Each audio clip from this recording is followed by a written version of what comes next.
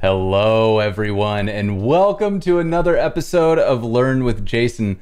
Today on the show, we have Margaret Staples, aka Dead Lugosi. How you doing today? Thank you so much for joining us. Uh, doing all right. Thank you for having me on your stream. It is very fancy. I'm uh, I'm super excited to have you here. I think this is going to be a ton of fun. All right, everybody is uh, is subscribing. Jimena, thank you so much for the sub. Eco, thank you for the sub.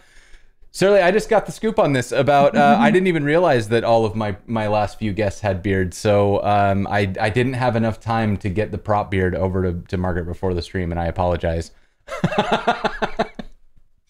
It's too bad. We're just gonna have to just pre- just pretend that I'm wearing Copper Beardy's beard right now, and and yeah, in your imagination, I'm blending in. Oh, thank you for the cheer, Razor One.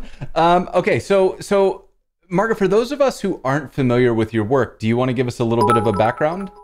Oh, um, sure. My work. That's All right, funny. here we No, go. Hype training. uh, I'm I'm I'm on a team um, at a company called Twilio Quest, and Twilio Quest Twilio is actually like a, a pretty big tech company. Like it, not when I was hired, but it's been growing just really fast since I was hired. So now it's actually a pretty decent sized tech company. But I work on a teeny tiny team at that tech company, and all my teeny teeny tiny team does is we work on an educational video game called Twilio Quest, um, which is what we're going to be looking at today. And Twilio Quest is a free educational video game that mostly teaches uh, programming skills. Um, and we recently, this year, uh, released a new feature, which is an authoring guide. So that if you wanted to create your own educational content within like a 16 bit, bit um, game, that you can do that and add to our community of learners uh, experience. And we're currently developing like an extensions gallery platform so that we can review community created content and make it available uh, more easily. And it's very exciting. And I would love more people to make custom Twilio Quest content. and that's exactly what we're going to do today, which I'm I'm really excited about um, because I don't I'm not a game creator, right? I've done a couple streams throughout the the history of of Learn with Jason where we've played with certain game mechanics, like we um, we opened up some 3D modeling and we we got ourselves like a little walking dog model in a in in in one setup, and then we've uh, we so we've done little bits. Oh, what's up, Ben? Hello, everyone on the raid. Welcome, welcome, welcome. Um, and and so you know, for for me, game game dev is one of those things that I've always wanted to learn how to do, and to make things more interactive and playful. And so far, I've kind of been limited to things that I can do with buttons, like tic tac toe, right? So I'm I'm uh, I'm excited to to learn a little bit more about this, and I, I think that you know the the 16-bit games they really have a, a special place in my heart. I I came up in that generation of of the, that was the option. It was that or nothing. So it's uh it's very exciting for me to to kind of see how this all works. Yeah, we're Um, going to make a game developer out of you right now. It's happening. Yes, I'm ready. Okay, so so let's talk about this a little bit because I I feel like there's just that that immediate mental hurdle that I face, which is it's too much. Like there's graphics, there's motion, there's collisions, there's points, there's all this stuff that starts happening when you start thinking mm-hmm. about how to make a game, and my brain immediately goes, "No, that's too hard. I should stop." So in the developer community, um, uh, one of the one of the things that I like, first of all, like my early professional life was absolutely impoverished by the fact that I did not know the developer community was a thing. Like the Mm. first decade that I was working professionally as a developer, I did not know that there was a community out there to like help me on that journey. And once I found it, I realized that that's like unlocking special bonus powers. Having a community that you can like interact with about this stuff just makes you pick it up so much faster and in better Absolutely. depth. But what I learned after joining said developer community was that if you really want to become an expert at something, you don't just learn it, you teach it. And so we wanted to make creating this educational content accessible to developers, not professional educators, not professional game designers. So we Mm. wanted to take as much of that scary too much out of it, which is why uh, we created a extension template. So just like uh, just like with any other development, first thing you do is you clone the repo. So uh, you you clone the repo, and what you find in that repo is a bunch of defaults to start with, including an already pre-made map.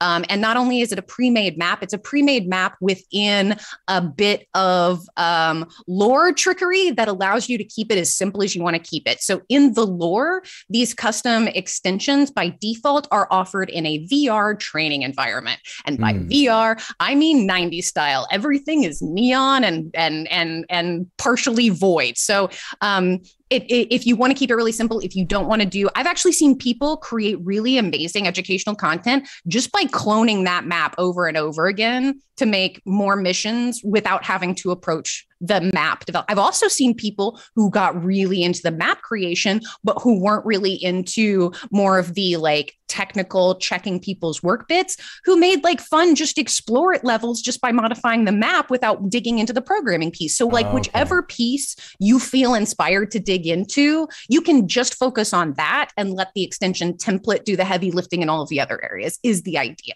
Nice, nice. Yeah, so I think th- this is this is this is exactly what I need is is training wheels for my brain so that I can get into this without feeling overwhelmed by it. And you know, I I, I love that you took the time to do this. I feel like that's such a such a big thing. Oh, so, shout out to my team because I personally did not. we we have a teeny tiny team, and each one of us is wearing like at least three hats. Um, and none of the hats that I'm wearing have done any of the heavy it comes to this this authoring guide. Uh, shout out to Ryan and Kevin who did all of the heavy lifting for the authoring guide. My big contribution has just been making it like making sure our community is aware of it and making sure that the learning resources that they need to engage with it is there. Like I am much more of our community human. I have developed content in Twilio Quest, but I but not nearly as much as I would like because time is finite. really is the big bummer about time is I I like I look at my to-do list and I see the the time passing and I go, so that's just not going to happen, is it? yeah, yeah. Honestly, honestly, one of the one of the skills that I've really had to master as I've gotten older is saying no to things that I would really like to say yes to because Absolutely. there is simply a finite amount of time and energy and focus and and, and making choices is important. Yeah, I, I and you know what? That's maturity as an adult. Like I, I feel like when I really started to feel like a grown up is when I could I could walk into a restaurant and say, you know what, I'm I'm actually not gonna eat that one pound block of cheese that you're willing to serve me. because I know that ultimately that's not going to make me happy. oh yeah, absolutely. Um, okay, so like one of the one of the weirdly adult things that I now do is I ask about the desserts first, so that when I'm making my meal selection, it is like, well, if the desserts are crap, then I'm getting the steak, and then the steak is both the meal and the dessert. But if the desserts look amazing, maybe I'll get a salad, so that my real meal is the giant piece of cake. See, this is the, this is adulting. Oh, that's yeah. I mean, I think you're adulting at a level I'm not ready for. I also just realized I'm I'm talking about my eating choices when yeah, Cassidy is saying knowing what I ate last week. We we were in Chicago for a team offsite last week, and we ate everything. There's nothing left. Chicago is a wasteland now. It's just all the restaurants are like, sorry, no food. you went like full Godzilla and just were scooping humans was... off the street and munching on them. Like there's nothing in Chicago now. just just tumbleweeds and regret. Uh... Honestly, that sounds like it would give you indigestion. You know, it, you're not wrong. Um, so so let's let's talk. Uh, let's see. Is it is it worth talking, or should we actually start doing something? I feel like it might be time to to just like. I, I probably should have asked this before I got on. How long is your stream? Uh, we've got ninety minutes total.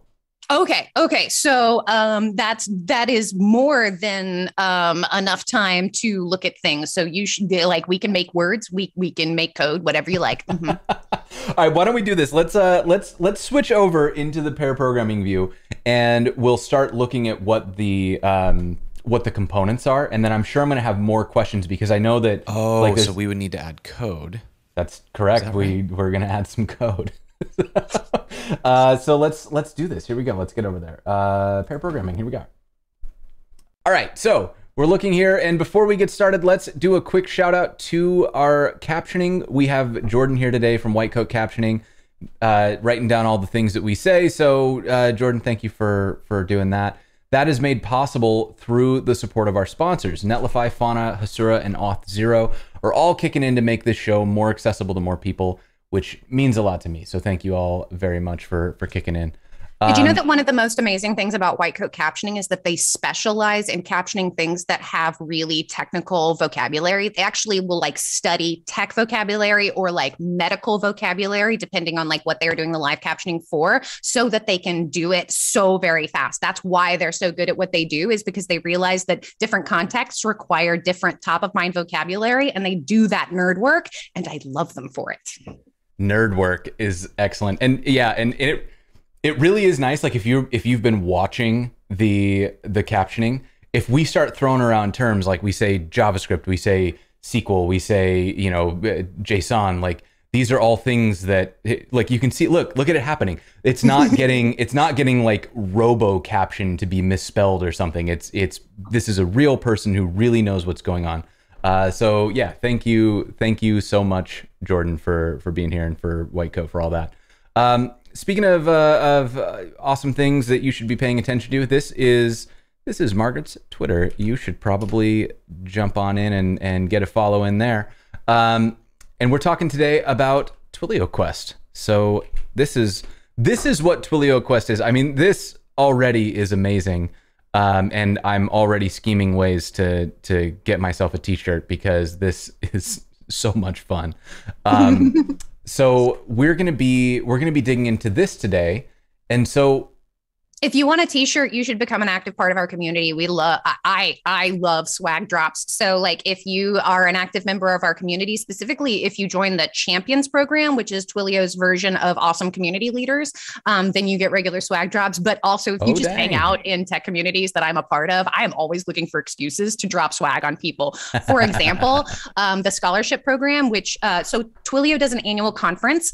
Um, this year it's happening in october and i run our scholarship program for underrepresented developers. Um, and as part of that, this week I am packing up like love boxes of swag and goodies for for our community humans that are going to be part of that program. And so that's very exciting. So join the active community, and swag drops will happen. what, what's is it TwilioCon? Am I am I searching for the wrong thing here? Signal. It's called It's Signal, Signal. now. It's called. It hasn't been TwilioCon in a long minute, like I- years. That was the that was But the that's one so that I cool went that you to. know that. yeah, I uh, it, like my experience with Twilio was was really funny because I I went to TwilioCon and I didn't really know anything about Twilio at the time. I was just kind of like I knew it was up and coming, and I ended up hanging out with Jeff Lawson, but I didn't know who he was.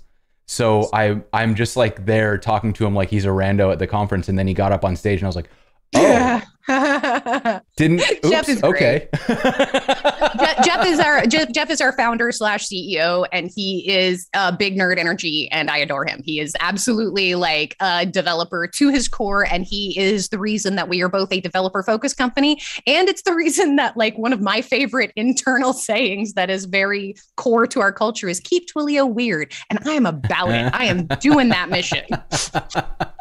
I love it. I love it. Okay, so let's uh let's I mean, yeah, let's speaking of weird, let's get weird. I want to I want to make some I want to make something. So what is my first step if I want to get this thing up and running? Because I, what I'm looking at here, this would be to play Twilio Quest, right? To download it. Right. So you're definitely going to need to download it so you can install your extensions into the game. So you'll want to, so definitely step one is downloading it for Mac or Windows or Linux, depending on your operating system. Um, and then after that, you're going to want to head over to the extension docs, which I have just posted to the chat, a link for that.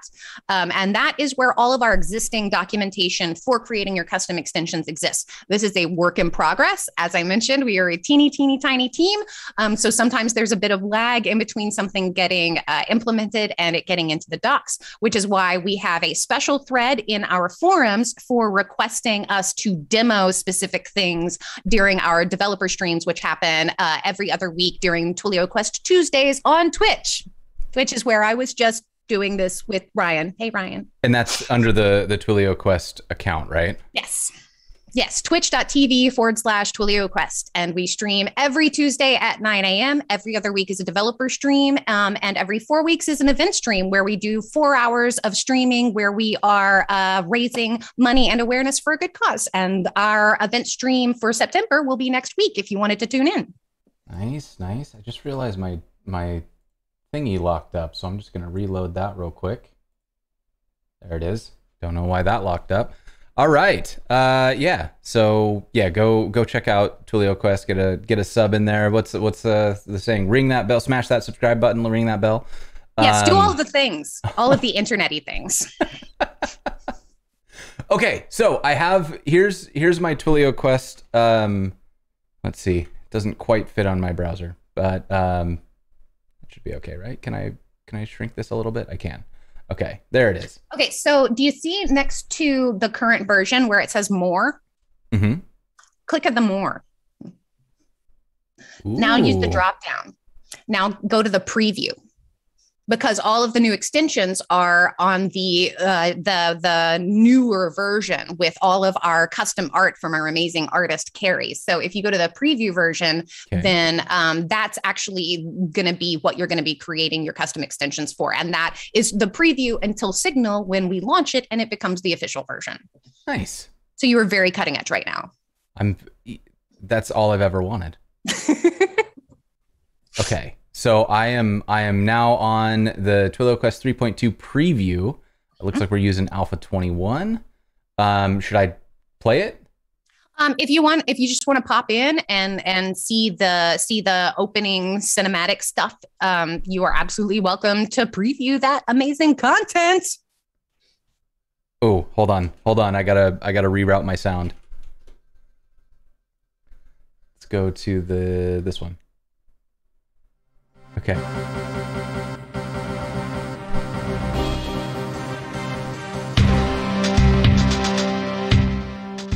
Much of our lives take place in the virtual worlds of computers. I love it. This vast virtual universe is known as the cloud. The power Shout of code, the laws the of these virtual worlds, is beyond measure.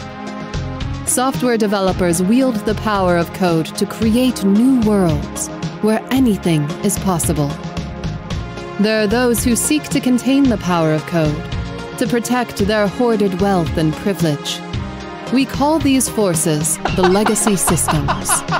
The Twilio Quest program was created in secret to confront this threat. They would recruit and train an elite corps of software engineers, known as operators, to explore and safeguard the wild frontier of the cloud operators have little in common with one another, except a solemn oath. To use the power of code only to unlock hope. This is so power, good. And freedom for all of humanity. You are an operator, and you have been asked to undertake a critical mission. You will assume command of a prototype cloud exploration vessel, designated the Fog Owl. If you could demonstrate the effectiveness of this new technology, it could help turn the tide of the struggle against the legacy systems. It is time to begin. Your neural interface should already be programmed with the location of our secret research facility. Twilio Quest scientists will provide further information upon your arrival. Good luck, operator. We'll see you in the cloud. Oh, I love it. This is so good. I mean, this is this is so much fun, right? It's uh, I like I love the the whole Oh wow! And then you get to customize. Mm-hmm. Oh, this is good. Oh, oh boy. Wait, can I be no hair? Yep. Oh wait, hairstyle. But that's going to be a style. Yes. it's so good. Oh my god, I love this so much. Uh, this is amazing. Okay, that'll be me. this is great. Okay, oh. so um, spoiler alert, or I guess Cookie um, is Kiara is a team member of ours. So Carrie, our artist, actually all of the NPCs in the game are modeled after people. So Kiara is actually like uh, one of my team humans, and and that's not not what she looks like. So that's fun. I love it. Okay. All right. So, all right. I'm just gonna wander around here for a minute because it's just fun to me. That's fair.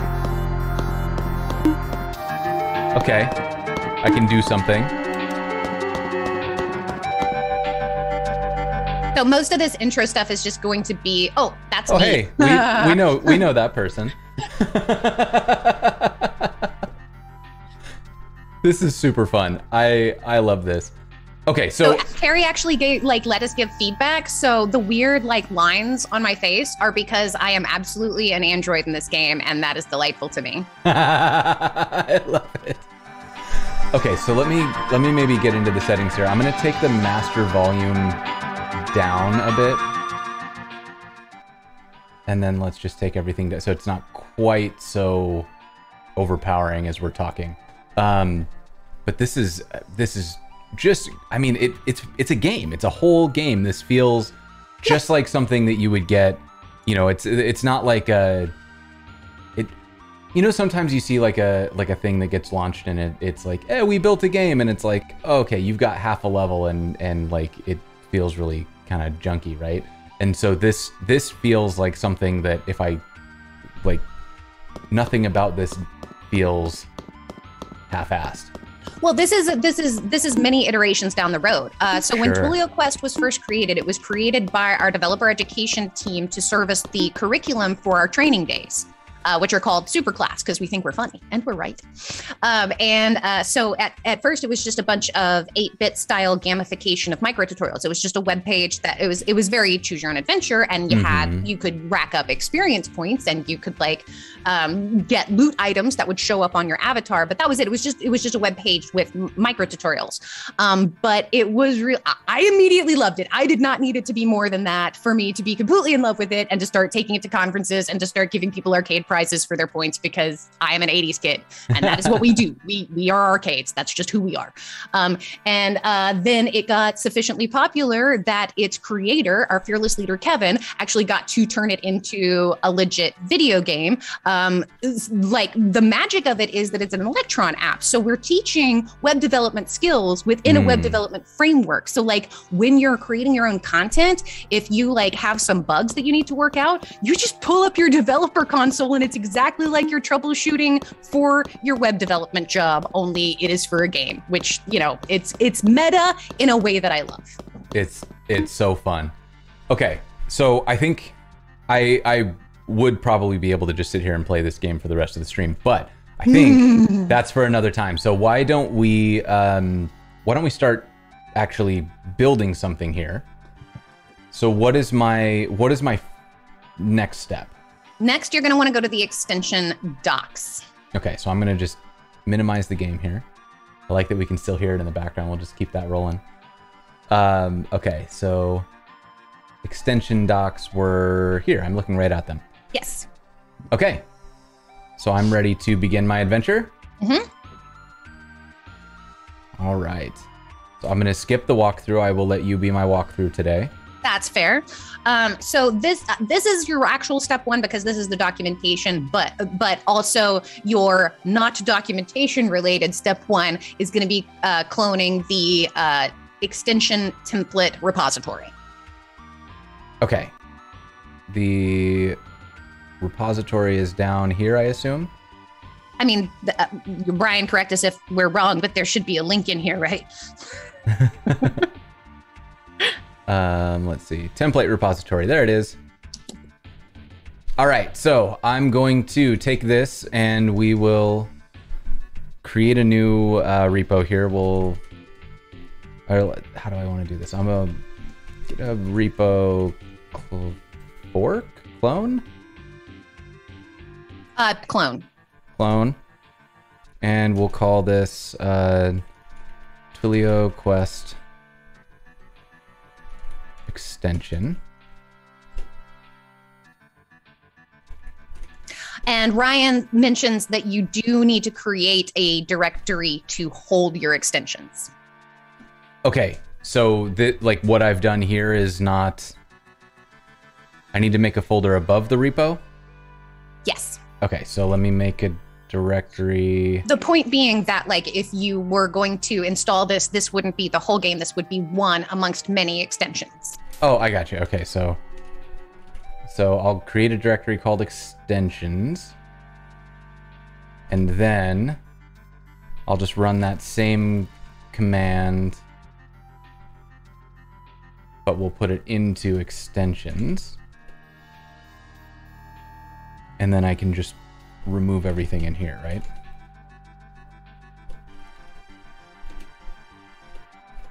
What else do I need to get rid of? Let's get rid of the README, the levels, the hmm. package, extensions, objects, scripts, images, and the tile sets. Okay.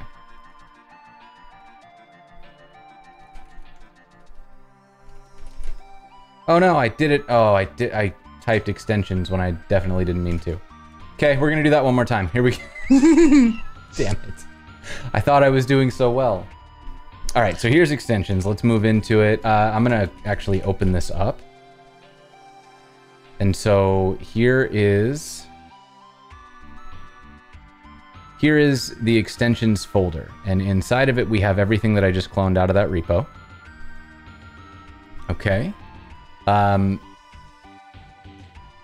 let's look at the README. And it's got all of these goodies in it. So we can go back to the docs that we were just reading. Got the template. And npm install. Okay, I can do that.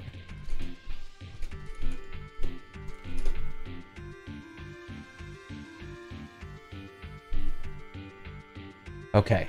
Now I just realized, do I need to like name my extension and have that in its own okay, folder it's, too? It, it's it's it's funny because what you've done is you've given a singular name to the multi directory and you've given a multi name to the singular directory and that took me several read throughs to understand what had happened. I think I may have just confused myself. Um, so, so you I... want so you want an extensions directory and then within that you want to clone the extension template with its own custom name for the new oh, okay. extension you're going to create. I think I can just do this and it'll just work. Let's see. No. Um, but if I create. And Ryan is attempting to drop you uh, deep links for the docs because he's he's a super helpful human. I appreciate it, Ryan. So if I just start moving everything in, is that gonna? You just gonna work? I mean, probably, but you know, technology's kind of. Uh, I believe. Okay, all right, we're in. so I have an extensions directory. I've now named a folder. Oh my god. Okay, do we need to take a break? I need to lie down. all right, so that's exciting. I, I, promise this is not nearly as difficult when you're not also attempting to stream at the same time. Yeah, yeah. I'm just just me over here trying to keep up with with lots of new things. Okay, but now that I have this, I believe, in the right place, path to extensions folder, good. We're into the, the repo name. We've installed. And now I can go into extensions under, after cloning extensions into the extensions folder, you should be able to see it in the extensions submenu under settings in the game client. So I need to go and find this, right? Yep. Okay, let me pull this back up. And here extensions, and I'm going to find my directory, which is under here, here, here. Uh, what did I call this?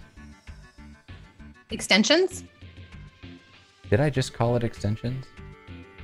I don't know. That happened once. One, one, one directory you called Twilio extension. Quest extension. Oh, that's right. The singular directory is the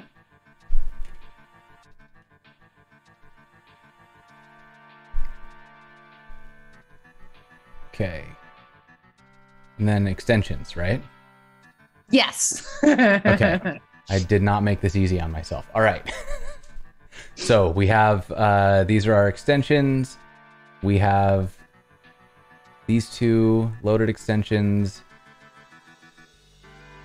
These and extensions are being loaded from the directory above. It says none and Ryan thinks that we'll need to exit the game client and load back in in order to see the default mission. Okay, cool. I can do that. So let's quit the game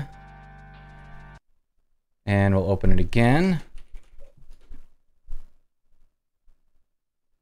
Uh, let's make sure. You'll want to select the right version again, which in the future will auto select. It just doesn't right now. Okay.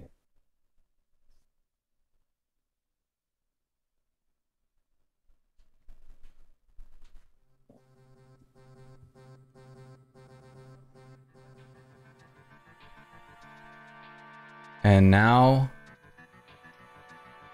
we have it. I have one. Uh, it looks like I have a. Oh, it looks like uh, your .git uh, directory stayed in the parent directory, so it thinks that you're attempting to load two extensions, one of which is named dot .git. Okay. Okay, I did this all sorts of wrong, but we're gonna we're just gonna be okay with that. We're doing now. fine. It's fine. but we're in the right place now. We've got um I put this into my downloads folder. That's why it's weird. Who okay. I will fix that later. But we have this this extension here. Yep. It, it is now it is now loaded. So um if you want to go back into your uh, game. Okay. And you can go look around for the VR terminal, which will probably be down and to the right. I could be wrong though. Oh, I'm wrong. VR terminal? Oh, or we can do the console warp. Console warp, how would one do that? Um, okay, so if you uh, open up your um, developer tools.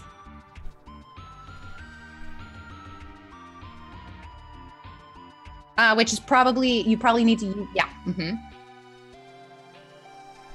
Uh, what am I doing? Toggle, Toggle developer tools. There it is. Developer tools there. Mm-hmm. Okay. Then go to console, and then typey typey.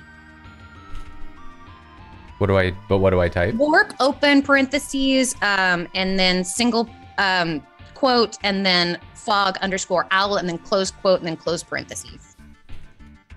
Or just copy paste from where Ryan posted in the chat. Okay. Hey, look at me. Now you're in the de- in the what will once you finish the prologue be your default starting place, which is the bridge of the fog owl, which is your spaceship in the cloud. Um, the yes, and now down at the right, this is the VR console. Nice. And there is your VR mission template. So this is what you can modify oh, to create your own custom content. Okay. So when we go into this, am I like a little bit, I think I squished it all a little bit when I moved the things around. Mm-hmm. As you can see, we are very uh, 1990s lawnmower man, Tron situation kind of VR. This is so fun. I also love that like everybody's in here. Oh, Ryan, look at you got an actual photo.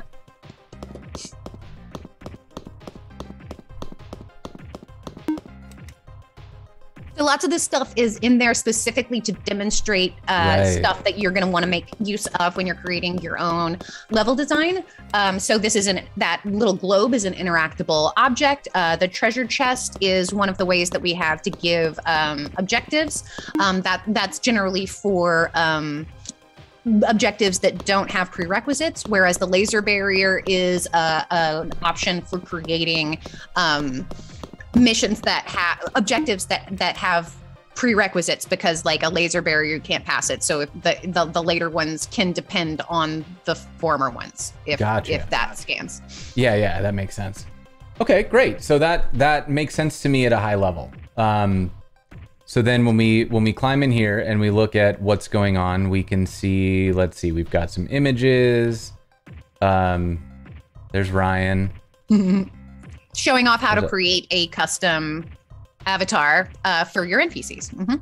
Got it, got it. And we've got templates, conversations, objects.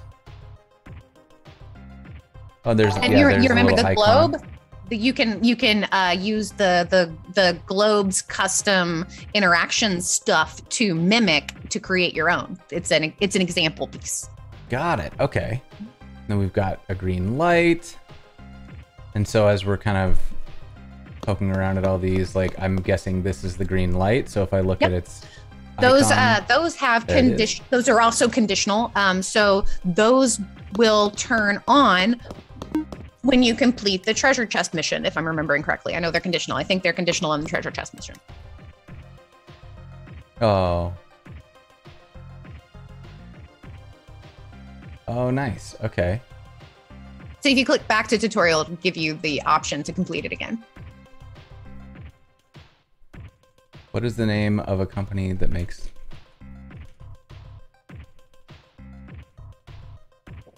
Ta-da! And that's what our learning objectives look like. This is obviously just an example, but every learning objective has um, has this basic interface. It's called uh, your your hacker interface, and and um, it has each each one has three tabs. The first tab basically just tells you the name of the objective and what you will get if you get it right. Um, the second is like a checklist of what you need to do, and then the third tab is the deep dive help tab, where if you're not really sure how to do what they're asking you to do, you'll find um, lots of information in step by step and links to external resources to help you out. Nice. No, this is this is great. Okay, so if I want to make one of these, then it sounds like I go into the objectives, uh, which are where I had this objectives. So there's an exa- example objective, and you get some HTML. That makes sense to me. You have code samples. Okay, so this is just like writing a blog post. That is that's great. And then you have a JSON so object. This, is where you kind of define the structure of your objective. This is where you will give the information that will appear on that first panel. Uh, mm-hmm. Uh, that just the the vague this the title, the vague description of what it is, and you that's where you set how many answers you need and of what type. You can also have them. You can also have objectives that don't require them to put in anything, um, and they just hit the hack button, and then the objective can check that they've done things on their computer. That's how we check things like that are programming oh. type objectives. Um, it, it, you can just say, here's what you need to do. And when you're done, hit the hack button. And then when they hit the hack button, the validator will check whatever you've told it to check. Maybe that's installing something, maybe that's writing a program that does something. And then if it if it passes all the checks, then you pass. And if it doesn't, um, we try to do this really well and we encourage other authors to do this really well we we try and give super informative error messages. Because what we have found is that developer humans don't much like reading the docs. And so a lot of them will just jump in and try to like complete the thing based on like a, a glance at the objective and then the first real feedback you get to give them is whatever error messages you put in. Good good good. Um no, this is this is great. I love this. So, um, helper validation fields. So this is this is cool. Like I like this. This is um.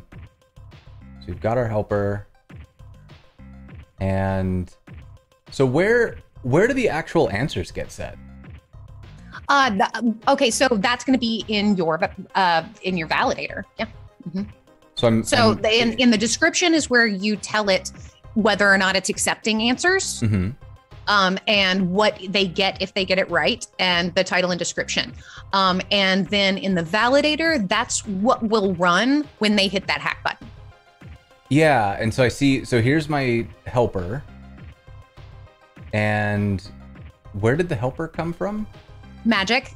but it, it looks like the answer one and then this is Twilio comes from where? So the validator fields are specified in the description, and then the helper delivers them to the validator. Oh, I understand. Okay, okay, okay. Got it. All right, I understand what's happening. And then we've got another one here where we've got a description. And, and on the map, uh, uh on the map, unless I'm mistaken, that first example will be the treasure chest, and that second example will be the laser barrier. And as you can see, because you completed the treasure chest, now those lights are flashy, flashy. Mm-hmm. Yeah, and so the same same deal here. And now you can see that when you complete this one, the laser barrier goes away. And this will let me exit, right? Mm-hmm. Oh, and now I'm on a. Now you've transitioned maps. Ooh. Right? It's fun. This is great. Cool. okay.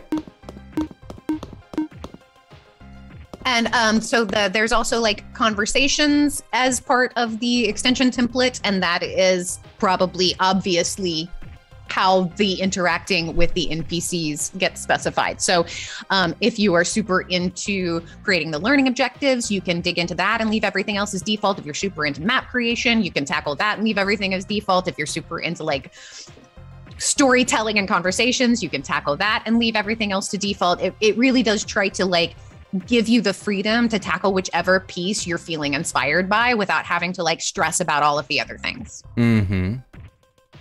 Okay. Cool. All right, and then we've got um it looks like maps and so well maybe maybe what we should do is we should uh we should mess with some of these a little bit. So let's let's change the rules for one of these objectives. I want my objective to be what is what is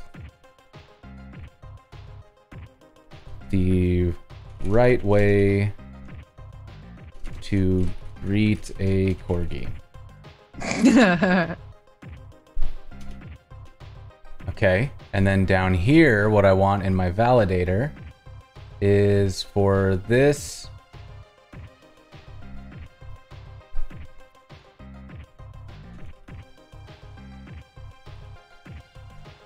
We can go string to lowercase. And we can say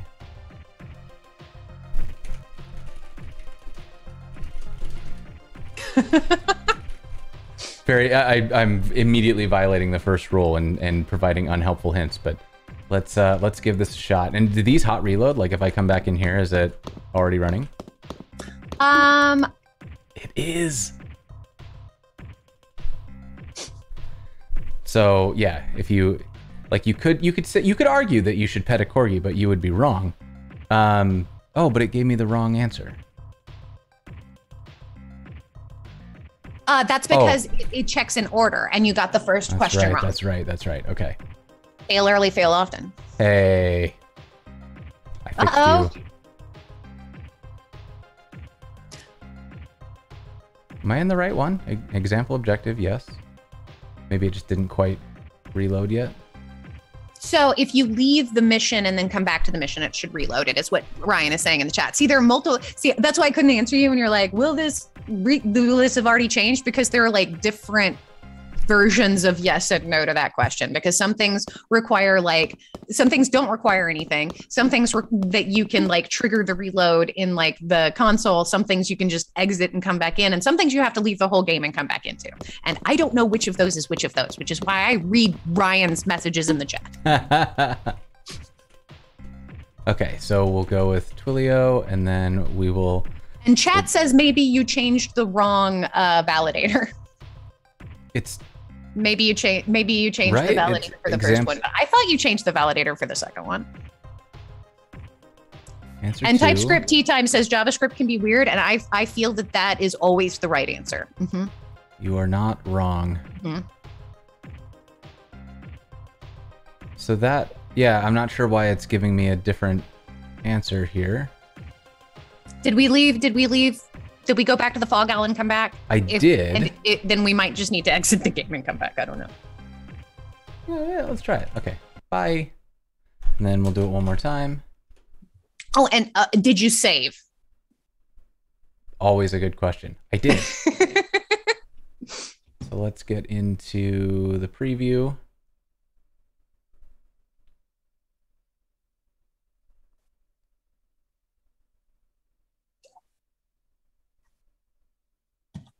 I guess what I can check next is uh, if I get in here, I need to warp again. Yeah, because you haven't completed the the the preview stuff where you run around and talk to people and it explains to you how to play the game.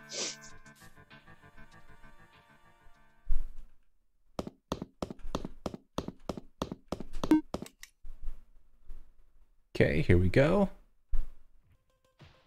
Now, if I come in here,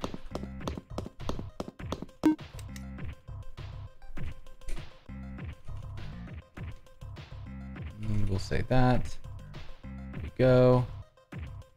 There we go. Yay! Hey. We got the right wrong answer. now, if you boop it, you succeed. Yay! Okay, so we have done uh, some actual gameplay here. We we changed an objective, um, and so you're saying that the other way that this can work is if we uh, if we want to check like external code, we can do that as well. Absolutely. So if uh, in the description, if you take out those um, answer fields, uh, or even if you leave them in, you, you can also check things in addition to having them fill in the blank, um, but you're not required to have them fill in any blanks or give you any answers in order to hit the hack button and have the validator run. So if you removed um, these the the curly bracers with the answer one and answer two in them, um, that would still it would still work, only it would display the hack button without any of the form fields ahead of it. Okay. And it will still run that validator. Um, so obviously, if you run the validator as is, it will not work because it will be looking for answers that do not exist now. Um, but if you remove that, you could then use the JavaScript and your access to the player's computer to check basically anything that you want.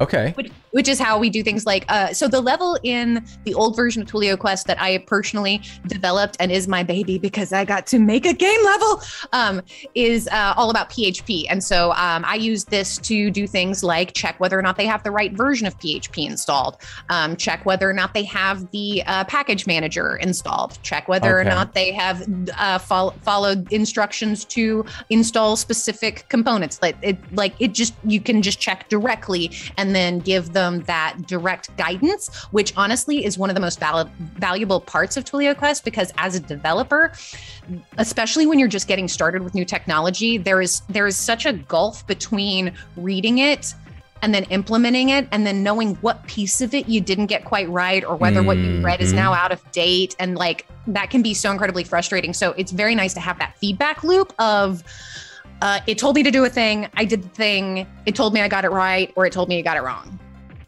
Yeah, yeah, yeah. Well, so th- so so if we wanted to do this, like if um, let's let's say we want to test that somebody like wrote some code correctly, is the is the standard like uh, we're going to teach you how to write a function in JavaScript, and so that function needs to return a value.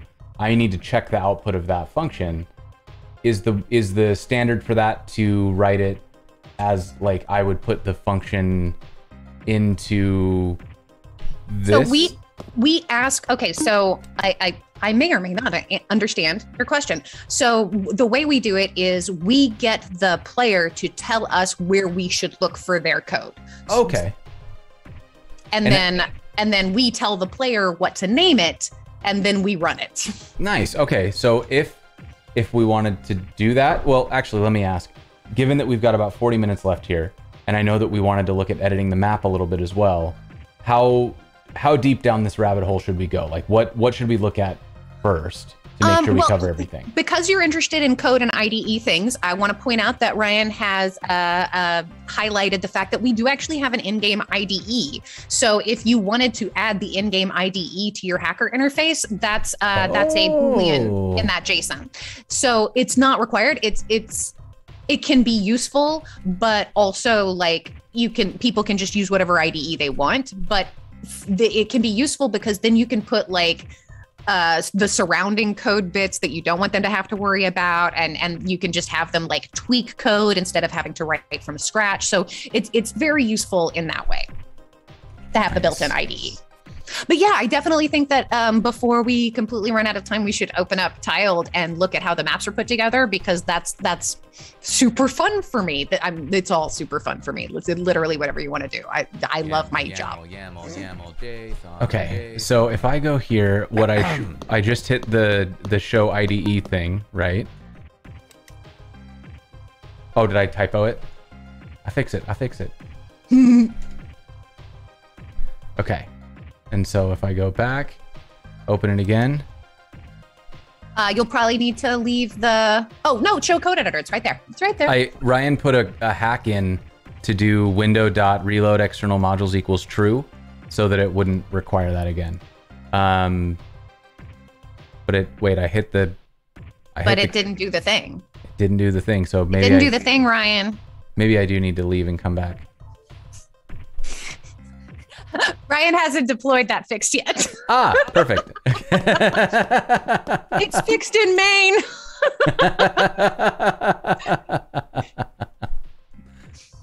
Consequences of a teeny tiny team. Okay, so I am gonna have to quit the game and come back in. Let's let's do it. Uh, Ryan's pointing out that we are on the alpha preview version. Yeah, definitely uh, taking all of this with a grain of salt because we are living on the edge, y'all. We we are the cuttingest of edges. Mm-hmm. let's see. So let's go into and Ryan says the code editor is broken, so we might still not see it. Holy oh, oh, like the the code editor is broken. Okay, that's that's fine. So we'll head out to the owl. And then let's hop back in here.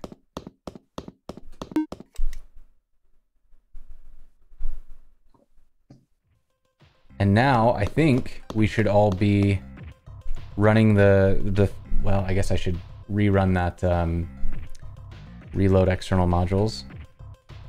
Okay, so that should pull everything back in for us. So why don't we move on then? Let's uh let's let's what's the next thing we want to look at? Okay, so either you can uh look at it depends. Would you like to look at content to see how things are implemented, or would you like to open up the map editor and look at how things are laid out? I feel like the map is probably the biggest mystery to me. Chat, do Let's you have do preferences, contents, or maps? Let's. I'm gonna start looking at maps, but if y'all overwhelmingly say you want to look at content, uh, we'll we'll switch. Oh yeah, special requests always welcome. Mm-hmm.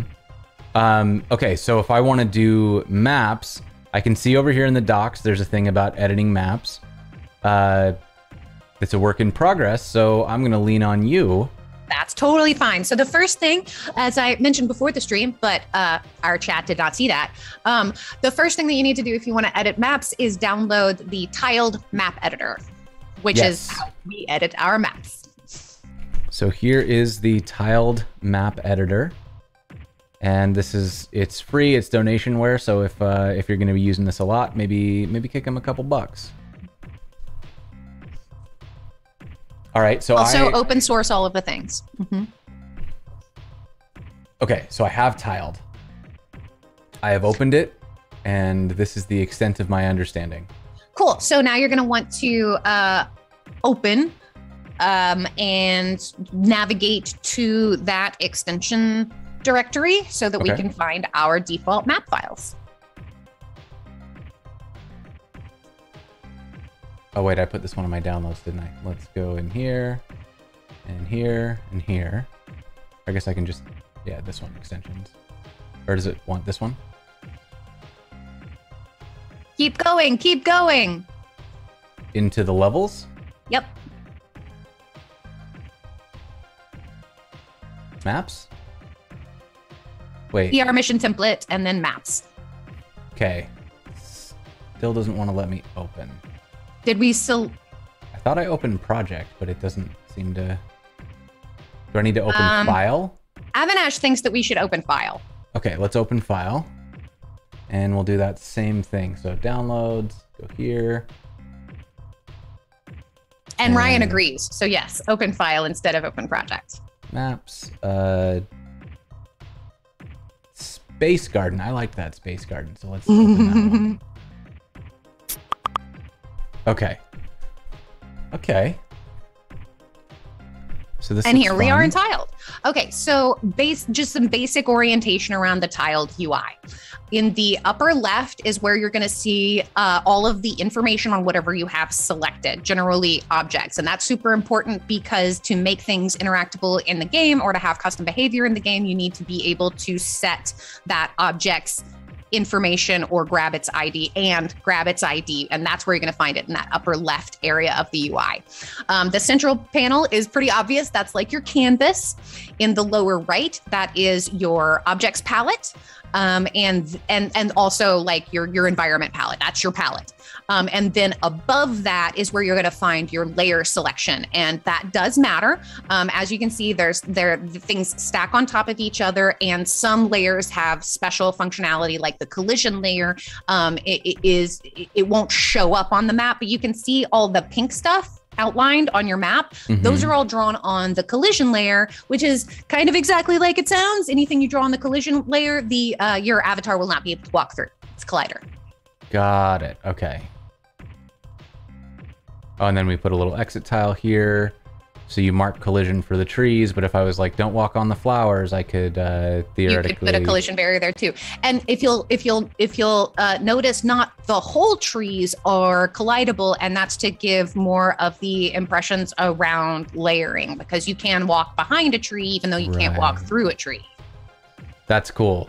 Um, and Ryan mentions that you can also click the eyeball in the UI next to each layer. And if you want to be able to hide stuff, like if you don't want to have to look at the collision layer, you can turn it off. Hmm. Oh, Which, is- you know, is good because you only really want to view the collision layer when you're working on the collision layer. Oh, and then here's my custom stuff. And then there's like Twilio Quest stuff and a whole bunch of tiles and, and fun things. Mm-hmm. This is cool. Okay, so if I want to put like... Oh wait, how do I... Do I have to like grab the whole thing like this? Or you can do it one square at a time. It's entirely your call. Oh god, how do I actually move wow. things? Um, okay, so if I if I select this whole thing, do I new tile set export um, I think you just drag it onto your map. Oh, you just so after I've selected, yeah. I can just move yeah. over here, mm-hmm. and then I can say, let's put some trees over here. Yep. All right. So now I want to. Oh wait, I put that on my collision layer. Incorrect. Let's put it on objects, probably. Uh, you can toggle the eyeballs to see oh, where wait, the existing no. trees are. Top. I'm gonna put it in top. Okay, so I've put it in top. Now I want to go to collision and I want to actually grab that collider. Mm-hmm. Okay. And, and my understanding gonna... is that it doesn't actually matter what tile you use, but keeping them all the same is useful for your eyeballs. Yeah. Okay. So then if I hide this top, oh, but then it loses the. How did this happen? They just grabbed one, one thingy. Okay, so let's go over here and grab my one my one thingy. and then I'll put it on is it decoration? Yes. Okay, so decoration. Boom. Boom. Oh wait. Probably want to use the actual actual thing. Okay, I'm doing it. It's happening. You're doing it. You are a digital You're doing it, Peter. okay. So all right, I added some trees. So if I save this, save it. Yep. Is it? Did I do it? Is it working? Like if I go in right now, is that gonna hot? Is that gonna hot reload? Um, I don't know which of the various reloads will be required.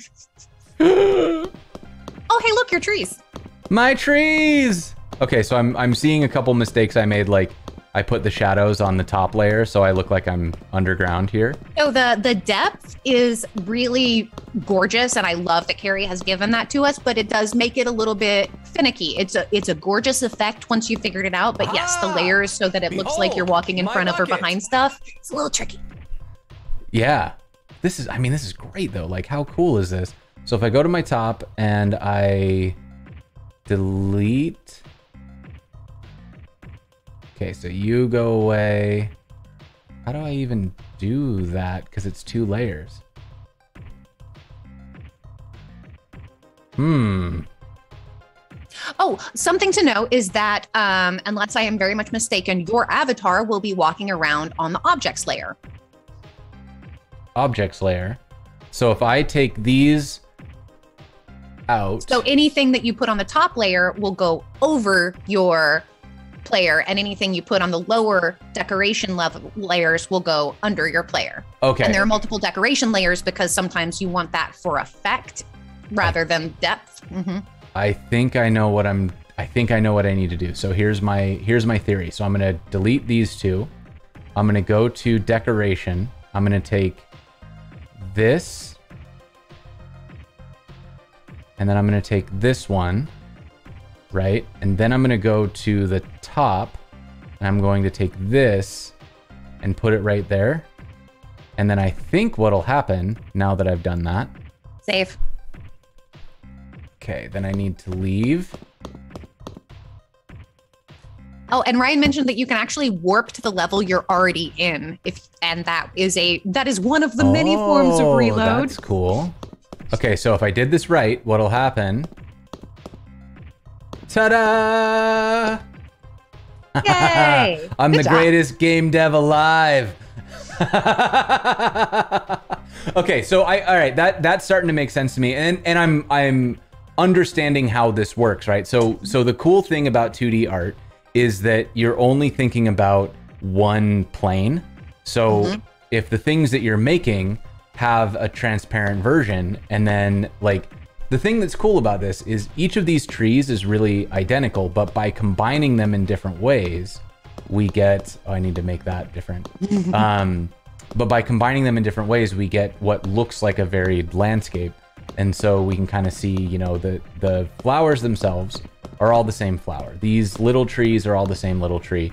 But because of the kind of different arrangement, they start to feel very unique and it, it starts to, you know, feel like an actual world. So yep. we can just get clever with our shadows and that tree overlay and bada bing, bada boom. We got ourselves a, a little copse of trees. Mm -hmm. That's very cool. This is very cool. Great job to to you and the whole team. This is this is excellent.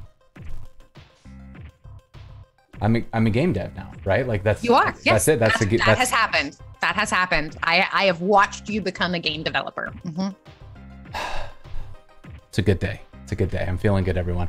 uh, now, now, now, I this this this does mean that I feel that you've committed to completing an entire Twilio Quest extension, so that mm. we can hmm. feature that Twilio Quest extension on the new extensions platform that we're working on. So, mm-hmm, mm-hmm might uh, might need to do it. Okay, so for for that to be true, there's it feels like there's one more thing I need to understand, which is uh, Netlify by Netlify and Twilio Quest. I think it could it could be a thing. This is a lot of fun. Um, let's uh, let's let's maybe let's maybe poke it. How could I? I want to I want to set the folder that somebody's supposed to check. So if I want to do that, let's um let's make that happen. So so let's say I've got my like my extensions here in this learn with Jason extension. Like, what if I just for the sake of this, let's do a um like a sample code directory, and I want to I want to check this sample code directory for some file, um, and so we'll call this like objective.js, and in here I'm gonna be doing I don't know. Let's let's say I want to export a function uh, and that function is going to just return right? So I, I effectively just want to validate that I did this properly. There's a, there's a file, I exports a function, and that function puts out the string boop. So I know how to write tests for this. How do I make that dynamic? Like how can Twilio Quest find this file and check it for me? So uh, Ryan suggests that you look at the validator examples uh, for reference because, so like I mentioned, in order to check code that people have run, you need to know where to check it. So mm-hmm. generally, we break this up into multiple objectives. So, um, so or, or you can have it be multiple answers on the same objective, but you have to you have to first know where to look and then what to run and then you can run it. Now we tell them what to name it but we let them tell us where to put it because not every operating system is is going to put things in the same place or or do we want to constrain people in that way? Okay. So let's see this one's for python. And and so so so generally we will we will ask somebody for the full path to the directory that we will then look for all future code examples from. Okay context extensions directory, file URL. Um, let's see. You passed the trial of reusability. I love it. Uh, okay, so I'm probably just scrolling right past this, but I don't see the part where I set somebody. Do they just put it in as a string, or is there like a file browser? No, they put it in as a string. Oh, I got you. I got you. I got you. Okay, so then if I'm going to do that, I could do something like in my objective for objective two, the first field, uh, which I'm going to need to look at this one for, has a name of like source code path. Is there an object like a is there a pattern for these? Am I doing something horrible by doing snake case? Uh no, because you're the one that's going to be referencing it later. Okay. I mean, I guess we can at some point create a style guide, but I don't think that's been top of mind just yet. So it would be path to your code. Oh, and Ryan mentions that uh, we save the file path as an environment variable, which the first objective validator example has. Save it as a. Uh, here's the example.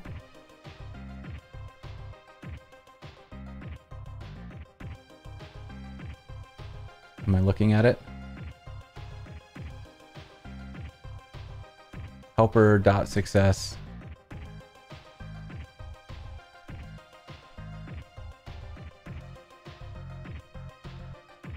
Here. Okay.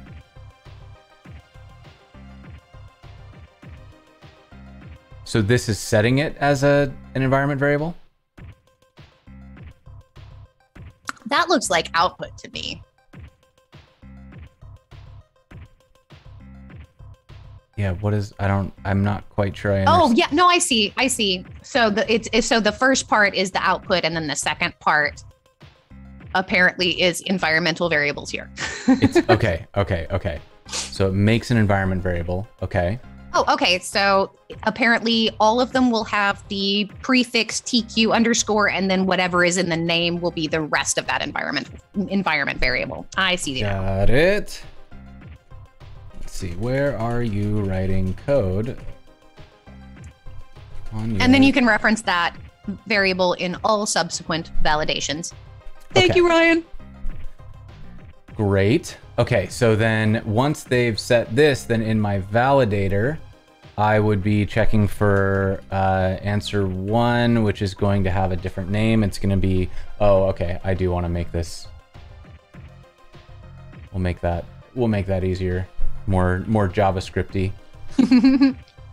okay, so we're going to get source code path, and then if no source code path,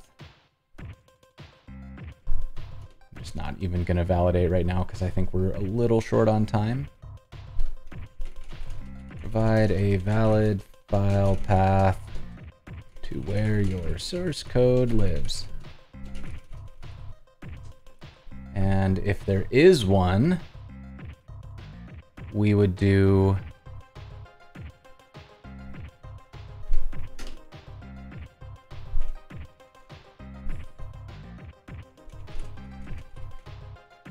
and then we would pass in uh, in our environment variables source code path and source code path.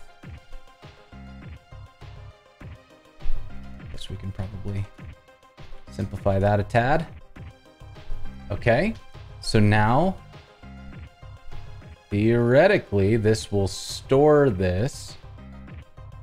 But I guess we don't really even need to do that part because we could just kind of look for the, the source code path and then I could do something like import. Let's get uh, FS. Actually, how would one do this? Let me think. Because I want to require it, right? So I guess I could just do like a dynamic require down here. This is this is absolutely going to explode if I did this wrong.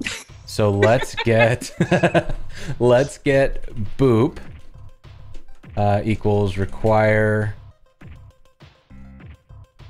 source code path. I guess we can do like a path dot join. Is this making people's hearts hurt? Source code path. And uh, we'll go for boop.js. Right, and then I need to get path from require path. All right. Then we will, I need assert again. Ryan thinks that you might be mixing CommonJS and ES6 module syntax. Absolutely possible that I'm doing that. Let's see. So this is, I am because I need to get, let's see, out here, this would need to be exports, or we can, so that should work because now that's, that's all CommonJS. And then here, in my validator. These are all CommonJS, I think. Right? And then I need to assert, which I shouldn't have deleted from my import, so I'll just get it back here. I want to assert that boop equals boop. and let's see how the actual check goes here. So try, oh, so we're gonna try assert dot strict equal. I did this all sorts of wrong. Let's let's just copy paste. Chad is suggesting module dot exports instead of exports. Well, I was doing it as a as a named one, but okay, chat, if you want to do default exports. Sheesh. Um, yeah, let's do that. That's fine.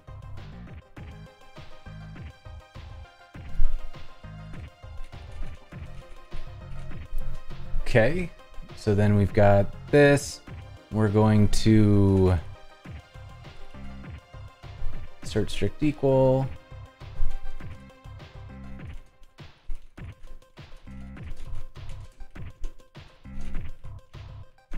Okay, so our function does not boop if that happens. So theoretically speaking, wait, where did I just put this? Did I put this in the wrong one? I did. Oops. okay, so I'll undo this one. Eee. This is why we recommend that you be very um, descriptive when you're naming your extensions directory and that you only work on one at a time. Yeah. Okay. So I think, I think this should work as long as I put in the right file name. And so let's get back in here and give this thing a try. Let's see what breaks. okay, so if I go Oh boy, let's let's just run the the PWD here. Um Let's get this one and then we want it to be sample code. So that should find the boop.js, probably. Ryan thinks that the syntax for environmental variable setting isn't quite right. Definitely possible. It's mm -hmm. hacking. Still hacking. Yeah. I'm assuming I, I, I broke it. Yeah. Let, do you want to open up the developer tools and see what your error is? Ooh, what a great idea. that I wouldn't have thought of.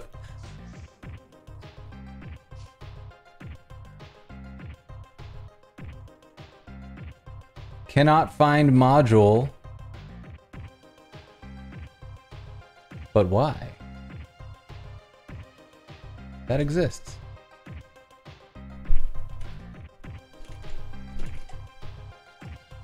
No, it doesn't, because I called it objective .js for reasons beyond comprehension.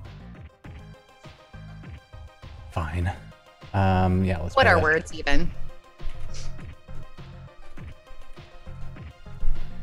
Okay. Can I restart it? You can potentially warp to the same level. But you might have you might have to cl close and reopen. Let's let's warp to the same level. Um, I let's see. You told me warp.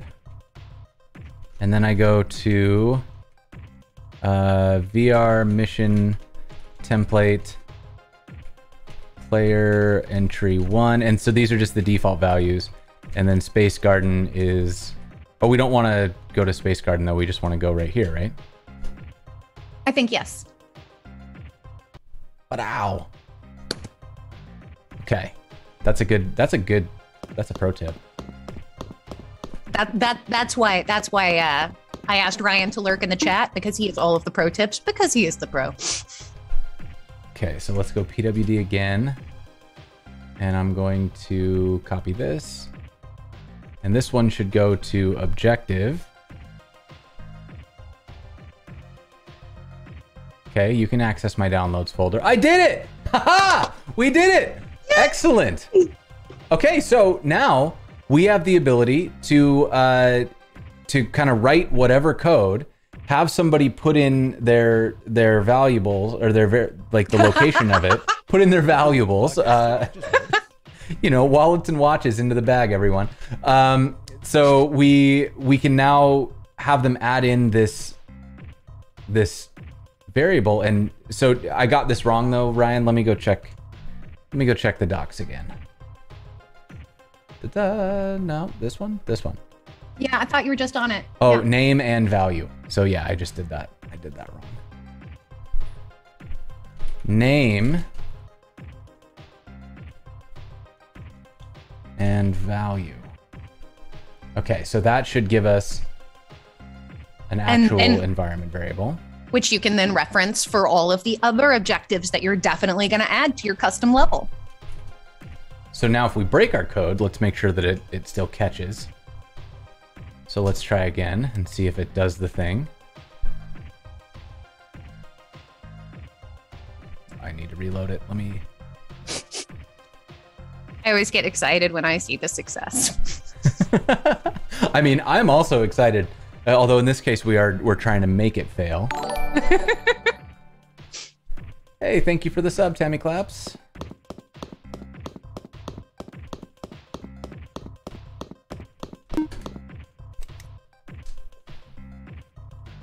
Okay, show me a failure. Oh, okay, so I missed a piece. because it should be. Ryan thinks that require might be caching in a way we don't want.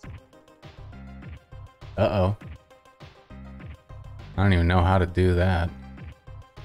When all else fails, exit the game and and and and open it back up. That's always my strategy. It's the equivalent of turning when it off and fail. back on again. all right, let's uh let's try that again. And oh, Ryan, I can't do that. I can't. I can't eval. I feel like that's just that's just me begging to break your game. Or your computer. Or my computer. so you you you skipped past this because uh, because we are doing a specific thing today. But if you had gone through the progression in the game um, as a normal player, you would discover that one of the first things that we make you do as a player is um, is is promise us that you, you understand hackers, that you, running code on your machine hackers. is dangerous. Yes, absolutely.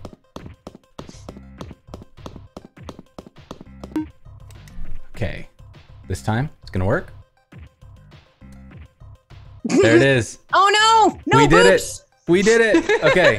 uh, no, I think this is great. And then uh, Eco brought up a good point, which is that we can probably just like query string it, and then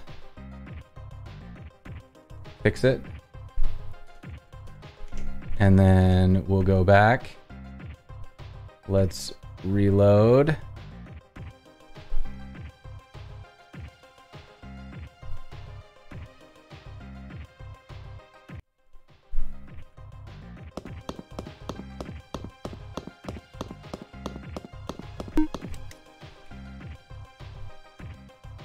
Okay. Something with the caching is is definitely not quite doing what we want, but that's okay because we know how to fix it. We just start and start it all over again. okay. Um, so we are we are coming up on time. So for someone who wants to go further and do more, what would you recommend is a uh, a next step? So many things. Okay, so um, I definitely recommend that anybody that is interested in playing or writing levels for Twilio Quest head on over to our forums because we have an amazing community of humans that will help you on your learning journey, that will help you on your game dev journey. Uh, it's just a great group of people to be tapped into. So, highly recommend that you check that out. You can also head over to the Twitch TV forward slash Twilio Quest channel where we stream every Tuesday at 9 a.m. Every other week is a developer stream where Ryan and I uh, talk about either whatever you have requested we talk about and demonstrate, or whatever we feel like if you haven't made any requests that week. Um, and then every four weeks, uh, we have our education partnerships program stream. And then every four weeks, we have an event stream. Next week is an event stream. We'll be streaming for four hours and we will be raising awareness and funds for an awesome nonprofit that does amazing community work. And that is also a great place to ask questions and get instant feedback. We always have somebody playing and somebody just hanging out. So that means somebody available to answer your questions if you have them. Um, and you should also make sure that you have that link to the docs for uh, extension authoring. And also, see, what else? What else, Ryan? Oh, Discord. Yes, of course. Thank you, Ryan. You should head on over to the Discord. If you prefer chatting to more long form interactions, we have a Discord for that. So you should uh, check out all of the cool links that Ryan is dropping in the chat. Also, if you would like to experience all of the cool stuff that Twilio has to offer beyond our educational video game and maybe get some uh, live training from our experts, I highly recommend you check out our annual conference that is happening in October. That is uh, Twilio Signal Conference. And if you happen to be an underrepresented developer, the scholarship program is for you. And you should absolutely check that out as well. Um, I guess that's it. Questions, comments, concerns? Not for me. That was excellent. I uh, it's it's always fun when uh, the person who comes on the stream is also a streamer because we, we like both wrap up for each other. um, no, this was this was so much fun. I think this was this was excellent. I you know am, am continually impressed just by Twilio as a company. I think um, the the breadth of things that Twilio does is impressive. And I love that investment goes into like making a video game to teach people how to code. That maybe doesn't seem core to Twilio, but I, I think that uh, it's it's cool that the company understands how much this stuff actually helps and makes an impact and improves the community. So I love to see that investment go there. I'm really, really excited to see the work you're doing on it. Uh, thank you to you and, and the rest of your team who hung out in the chat today. Y'all are wonderful. Mm-hmm. Um, chat, make sure you go and follow Margaret on the Twitter. Get on there, get uh, and and do that do that sub on Twilio Quest. Make sure you you go and do that one. Um, today we've had live captioning all day. Thanks to Jordan from White Coat Captioning. Thank you so much, Jordan, for hanging out with us today. And that is made possible through the support of our sponsors. We've got Netlify, Fauna, Hasura, and Auth0 all kicking in to make the show more accessible to more people, which means a lot to me. While you're looking at things on the site, make sure you go and check out the schedule because it is just it is just off the wall, y'all. It's so much good stuff coming. So we're gonna do uh, CSS Grid container queries. I'm I'm downloading Chrome Canary so we can use some future CSS. We are gonna do TensorFlow on Friday. That's a special time. We don't usually do Fridays, but we're gonna do one this Friday. With uh, with Becca, we're going to learn about using machine learning TensorFlow. We're doing UI and UX. We're doing team workflows in Notion. Uh, Next and Contentful and GraphQL. So so so many good things that you can come in and learn. Make sure you hit, that uh, Google Calendar button so that you get it added and you can see what's going on. And you know, don't forget if you're not already, make sure you follow and subscribe to Learn with Jason. With that, I think we're going to call this one a success. Margaret, thank you so much for your time today. Thanks so much for having me. This was fun. This was an absolute blast. All right, chat, stay tuned. We're going to go find somebody to raid. Margaret, thank you. We will see you all next time.